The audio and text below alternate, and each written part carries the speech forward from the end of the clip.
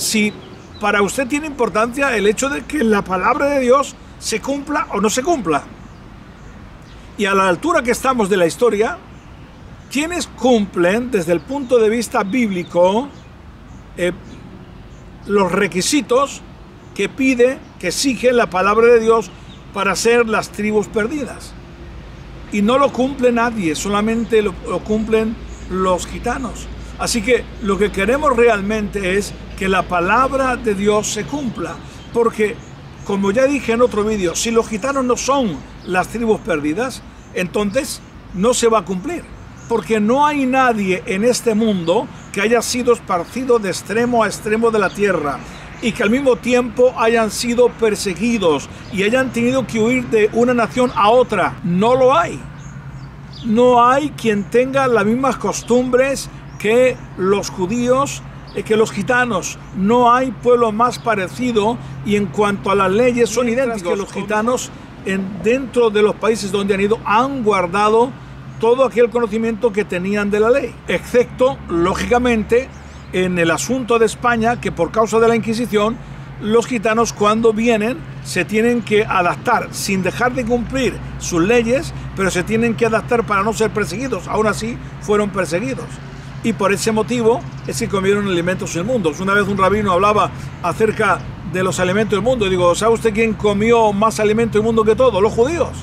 ¿Por qué? Porque ellos tenían que justificar de que no eran judíos para que no les mataran y entonces había en casas inclusive que hasta tenían un jamón puesto en la puerta para hacer ver de que ellos no eran judíos, porque los judíos no pueden comer el cerdo y, otros animales inmundos. Bien, los gitanos tampoco, pero cuando llegamos a Europa, entonces especialmente en España, pues eh, se comenzó a comer alimentos inmundos porque sabemos que cuando estuvieron en el imperio bizantino, eh, los antiganoi, que son los gitanos, no comían alimentos inmundos. Y todavía esto lo siguen los calderas en aquellos países donde no ha habido tanta persecución. Así que es 100% seguro que los gitanos somos la casa de Israel muy importante y que es importantísimo el que lo demos a conocer porque estamos cumpliendo con el plan profético de Dios, lo había profetizado, iba a salir. Así que el siguiente asunto es si los gitanos somos las tribus perdidas de Israel ¿Iremos a vivir a Israel? ¿Se cumplirá la palabra? Bueno, en este sentido, eh, debo decir que se va a cumplir 100%, así que ya sabemos quiénes son, pero ahora el mundo tienen que saber. También los judíos es necesario que lo sepan. Ahora, en cuanto a los que han de volver, eh, la palabra de Dios lo dice con mucha claridad en Ezequiel 20:38, que de las naciones donde estáis eh, tenéis que salir, pero los rebeldes no permitiré que vuelva. Y esto lo dice en varias ocasiones en la escritura.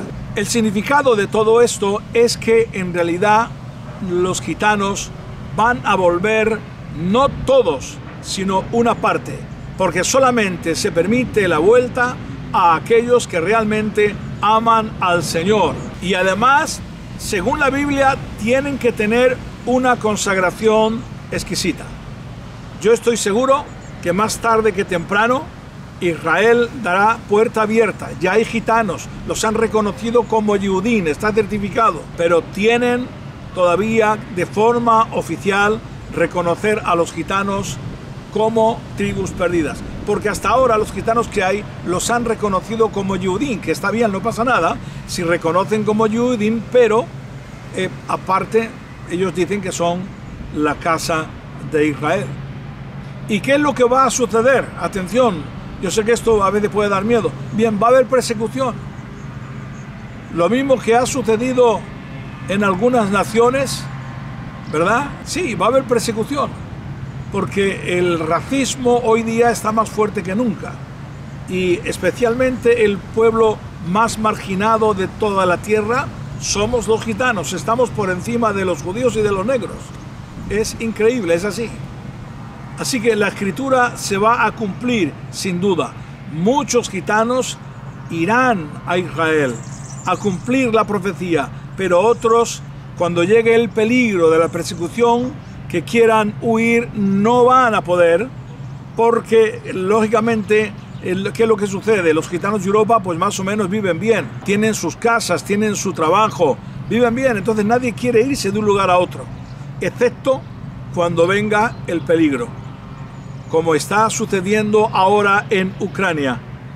¿Verdad? ¿Cuántos gitanos han querido salir y no han podido? Han escapado los que han podido. Bien, algo similar o peor vendrá a cada nación y cada grupo de gitanos tendrá que saber eh, cuándo debe salir del país donde vive.